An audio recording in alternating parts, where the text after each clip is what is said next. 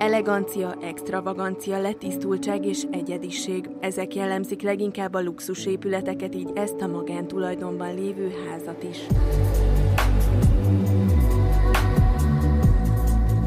Nagyon kevés időm jut a pihenésre, de az az érzés, ami három éve lakom itt, ami megfog minden egyes alkalommal, amikor hazajövök, nagyon jó érzéssel tölt el. Bugovics János építőipari tervező és kivitelező lenyűgöző otthonában minden apró részletet gondosan megterveztek. Ocsovai Dorka lakberendező éppen azt meséli, hogy mire figyeltek a tervezésnél. Amikor ezt a házat terveztük, de ez még manapság is nagyon markáns, a külső környezetnek a megjelenése a belső térben. Tehát ezért is láthatjuk, hogy nagyon sok növényzet tör be a külső üvegfalakon keresztül, Ebben a luxus otthonban iroda is van, amit a modern műtárgyak tesznek különleges hangulatúvá. Mindjárt megmutatjuk, hogy milyen belső építészeti elemekkel varázsolták otthonná ezt a lakást. De előtte Martinkó József építészet és dizájn kritikussal fényderítünk a luxus épületek fényűző titkaira. Most úgy tűnik, hogy a, a, a legfontosabb dolog, vagy amit érzékelünk, hogy hogy a különböző tárgyaknak, különböző tereknek egyrésztről legyen valamiféle története, legyen valamiféle hangsúlya. Legyen valami olyan mögöttes története, valamilyen megélt uh, dolog, ami, ami, ami, ami egész egyszerűen jelentőséget tud adni annak, ahol éppen élünk vagy vagyunk. Ezt az érzetet ragadták meg az egyik új budapesti hotel elegáns lobbyjában is, ahol míg a látványkandalló az otthoni légkört árasztja magából, addig a recepciós pult mögött az eredeti épület íbuloszlopai láthatóak.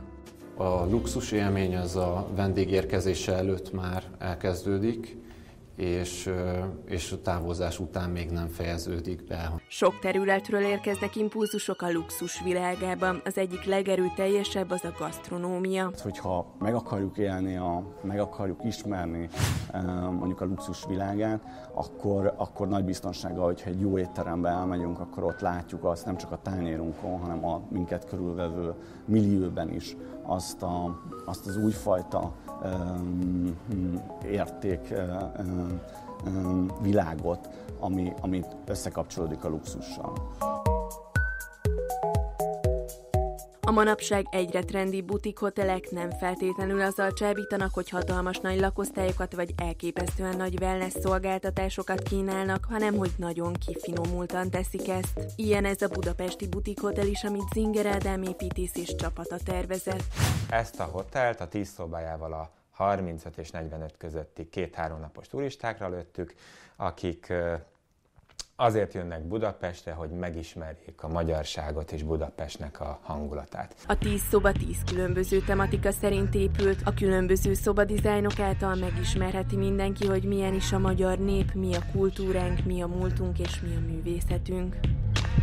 Ebben a szobában matyó mintás elemekkel hozzák közelebb a vendégekhez a világon szinte mindenhol ismert népművészeti hungarikumunkat. Ami nem feltétlenül a bekerülési költségével volt sok, hanem az ötlettel és az, hogy azt valaki kézművesként létrehozta. Zinger Ádám egy 24 fős építészekből álló csapatot irányít, akikkel közösen tervezik meg az épületek külső és belső világát, amivel Montenegróban, Svájcban, de még Franciaországban is hódítanak. Külön designereink vannak, külön műszaki tervben jártasabb tervezőink, látványtervezőink, grafikusaink, együtt dolgozunk kertdesignerekkel, különféle szakértőkkel, de mindenkinél ugyanazt a fajta építészeti szemléletet és gondolkodásmódot várjuk el, ami egyébként le van fektetve, és ez a mi kis titkos eszenciánk. Ádám ezt a különleges látásmódot és eszenciát édesapjától örökölte.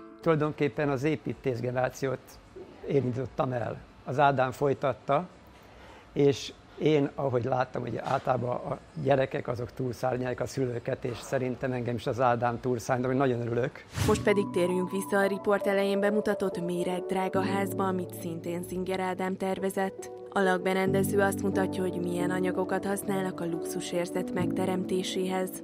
Ha egy luxus közvetítő anyagot jelent esetben a nagyon divatos tükörversonyt, illetve egy megfelelő szint alkalmazunk, akkor teljesen az egész környezet feléled.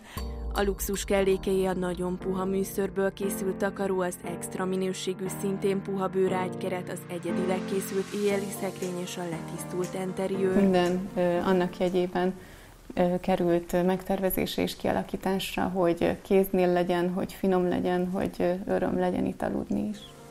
Ezt az élményt csak fokozza ez az egyedi tervezésű és gyártású bútordarab.